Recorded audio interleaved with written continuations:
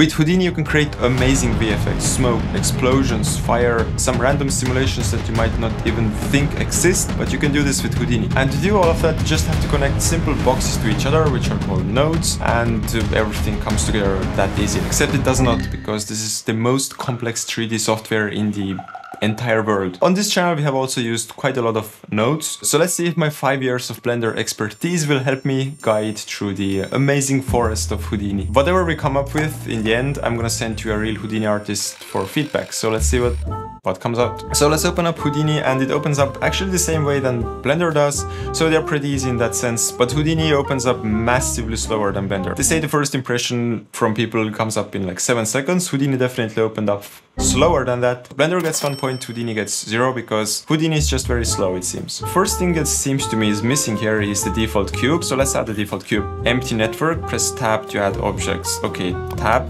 Ah, okay. It's easier than in Blender. In Blender you have to press Shift A. So let's give one point to Houdini for a shorter shortcut. So let's add a cube. I'm gonna... Ah, it has a cube, right? Look at that. We have a cube. It seems to be like the normal default cube. The navigation... Uh, the navigation is so weird here. Left click for like moving to viewport seems okay, but I can get used to it. Actually, it's not so bad. So let's see what else we have here. Hmm, okay, up here we have uh, lights and cameras, collisions, particles. This sounds interesting because in Blender we have only a very sad collection of simulations. so um, terrain object, vellum. Vellum is for clothes, I know that. You can simulate uh, clothes with vellum. Vellum balloon. Let's try the balloon. I pressed on the balloon and something happened here here, Autodop network. I don't know what that means at all. Okay, there is like the vellum objects, which is what? If I press the I button here, it's gonna hide this probably. Okay, the cube is the vellum object. So there is the vellum solver, merge, and gravity. Oh my god. You can add gravity as a node. In Blender, you're just gonna click simulate, and that's all you can do. It seems to be the correct number. So let's simulate this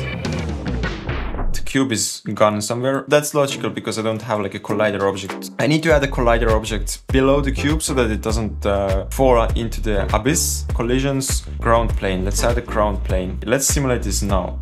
Ah, I can see it. It was like a bit... Yeah. Oh, I can move this in real time? Oh, that's great. Yeah, look at that. This looks so cool. No, no, no, don't go over the border. I need you to be here with me in this difficult situation. Bow. Let's try this with a pig's head. I know that Houdini, like the principal object is a pig's head instead of a monkey head in Blender. I think it's a bit scary, the smile and all that. This is like in the in this Saw movies, I think there is like this one character. Let's make a balloon out of this pig head. Uh, vellum balloon. Meow. Now let's test out some explosions because I asked you what should I explode with Houdini and you asked me to explode a nice egg, teapot, your graphics card, my creativity, 3D models of logos of all the lesser CG softwares like Maya, Cinema 4D, Houdini, ZBrush, basically everything that isn't Blender. That's hateful. Donut, default cube, Ice Age baby. Everybody's so violent. Dogs. Okay. So to explode something, we have to first uh, see how explosions work. Which one do you think we should use? Um, this one seems a bit cool. it's only 200 kilobytes and looks pretty, pretty awesome, I think. Can I play this simulation? Why doesn't this work? Ah, it's working, you see. The thing I like about Houdini is that you actually can see what, what it's doing. Cooking up ground explosion, past 0 5, sub steps, uh, whatever. It's a lot better than in Blender, you're just gonna wait and after 2 hours to see it has crashed. So I think it's time for another point to Houdini for showing us actually what it's doing. What is happening in the oven? What is cooking right now? 51 frames of Houdini simulations. Let's see how this looks. If anybody knows how to turn down the exposure, this would be greatly appreciated because I have no idea why this looks like that. We have to see how the explosion works so that I can make my own explosion and blow up all of those things. Uh, render cam topnet the names in Houdini are so cryptic. What is a topnet? Look at those names here. Chop, cop, lop, shop, rop, top, wop. Is this Pepsi? This doesn't mean anything to me. For a beginner, this can be something really uh, harassing. Oh no, I cannot understand anything what's happening here. ROP fetch. What is a ROP fetch? It seems I have to restart everything just by scratch because this explosion doesn't give me literally... I don't understand what's going on. Look at that. This is like inside of a Unix kernel. Let's open up a new file. Let's make our own explosion. Okay, so if I want to create an explosion in Blender, I have to add a domain and all that stuff. In Houdini, I probably have to add chop, top, nop, wop, whatever networks. I don't know what these even are, so let's try with presets. Collisions, particles, grains, sparse, fireball, aerial, explosion, ground, explosion. Why is there no like explode an object? You want me to explode the default cube. And then under this modeling, there was um, shatter. Bam. Can I add some noise to those things so that I can blow those up with a force field afterwards?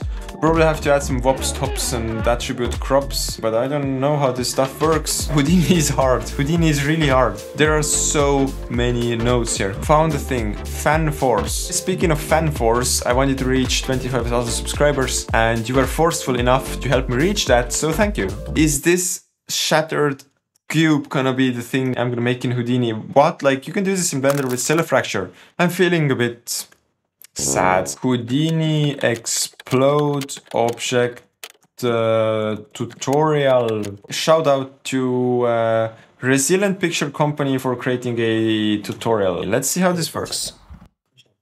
Oh, this looks cool. I want to do something like that. I want to explode the default cube and the donut like that. I'm gonna try to follow this tutorial. Mm, let's see if something is gonna work out for me.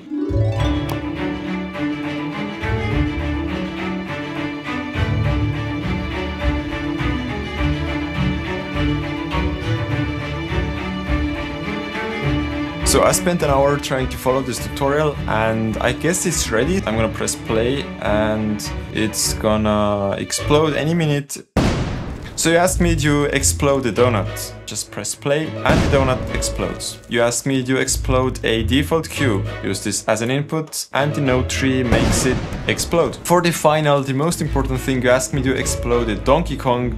So here is a Donkey Kong, Donkey, a Donkey Kong. Let's start this uh, gory madness. So I rendered out the version with the donut. Let's send this animation to a Houdini artist right now. I don't even think this needs some feedback from an artist because what can you improve there? My first Houdini project has to go to my demo reel.